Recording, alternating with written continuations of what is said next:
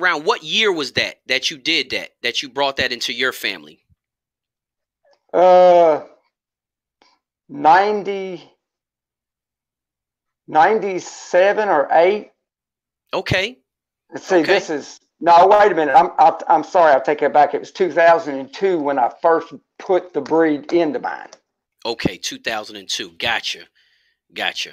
And and uh, again, from what I've seen, that's a result of that breeding program that you had done back in 2002. So have you did anything different from 2002 or you just reverted back to the methods that you were your breeding methods that you were doing prior to infusing that into your blood?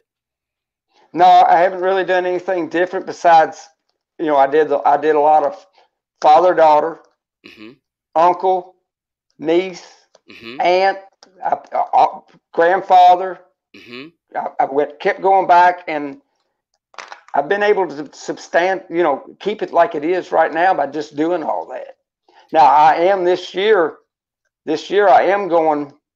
I have got one pen that I'm going brother sister, Mhm. and that was done before I got the new stuff.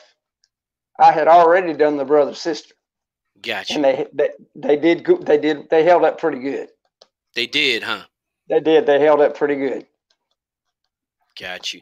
And and, and the only reason I really wanted to talk, you know, uh, about this because there's a lot of misconceptions about it. Like I say, I'm I'm a supporter. I, I again, I have seen inbreeding work out successfully, and not just in chickens, but in other animals as well.